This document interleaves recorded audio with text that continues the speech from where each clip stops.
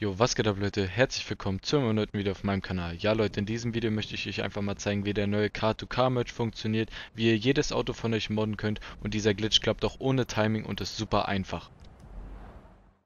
Noch eine kleine Info, bevor das Video gleich weitergeht, unter diesem Video werdet ihr einen Thanks-Button finden mit einem Herz, da könnt ihr natürlich gerne einmal raufklicken, um mich zu unterstützen. Danke an jeden Einzelnen, der mich damit unterstützt und jetzt geht's weiter mit diesem Video.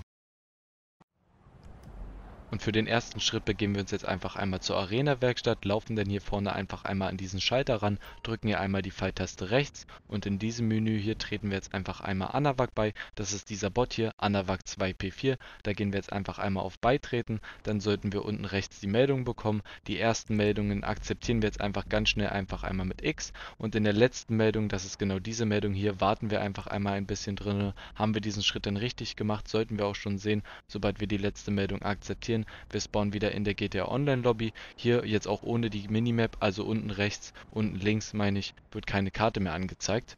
Jetzt sagen wir unseren Freund einfach einmal, dass er uns ins LSK-Meet einladen soll. Haben wir denn die Meldung von ihm bekommen, nehmen wir die Einladung einfach einmal an, so dass wir gleich auch schon im LSK-Meet drinne spawnen. Nämlich sobald wir gespawnt sind, holen wir einfach einmal unser Handy raus, gehen einfach einmal auf den Mechaniker oder und fordern jetzt das Fahrzeug an, wovon wir die Tuning-Teile übertragen wollen. Das ist einfach einmal ein gemoddetes Auto, am besten mit den F1-Reifen und den Bennys-Reifen. Es klappt auf jeden Fall mit beiden Reifen.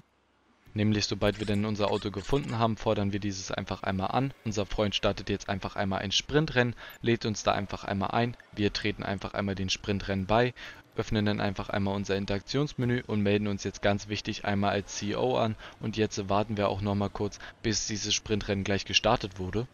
Und sobald das Rennen dann gestartet wurde, fahren wir jetzt einfach einmal zum nächstgelegenen LS Custom. Sobald wir da dann angekommen sind, öffnen wir einfach einmal das Interaktionsmenü, gehen einmal auf CEO, einmal auf die Fahrzeuge und fordern jetzt einen Buzzard an, sodass der Helikopter dann auch schon hinter uns steht. Jetzt fahren wir einfach einmal mit unserem Auto einmal in das LS Custom rein und sobald wir im ersten Menü angekommen sind, drücken wir einfach einmal Kreis, um in dieses Menü hier zu kommen. Hier halten wir jetzt einfach einmal die Respawn-Taste gedrückt, sodass unser Bildschirm komplett schwarz wird nach einigen, einigen Sekunden. Und jetzt treten wir einfach erneut dem Anavac-Bot bei. Wir gehen einfach einmal wieder auf Beitreten, kriegen unten rechts die Meldung und die erste Meldung akzeptieren wir einfach einmal, die zweite lehnen wir ab und die dritte akzeptieren wir wieder. Jetzt äh, sprinten wir einfach einmal ganz schnell zu unserem Helikopter hin, also zu unserem Buzzer, der hier oben an der Straße steht, steigen in die diesen einfach einmal ein und sobald wir eingestiegen sind, können wir jetzt auch schon einmal den Captain anrufen.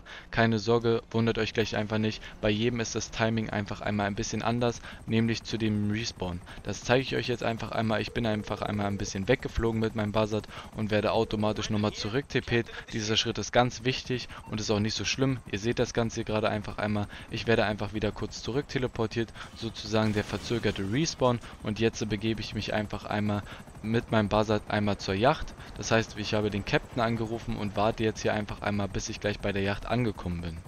Und sobald ich jetzt bei der Yacht angekommen bin, kann ich auch schon auf persönliches Fahrzeug anfordern gehen, bestelle jetzt einfach einmal das Fahrzeug, was ich modden möchte und sobald dieses Fahrzeug angekommen ist, kann ich jetzt auch schon wieder die Respawn-Taste gedrückt halten und sobald ich gerespawnt habe und wieder spawne, sollte ich sehen, ich werde mit diesem Auto spawnen, was ich gerade angefordert habe und die Tuning-Teile haben sich übertragen auf das Auto.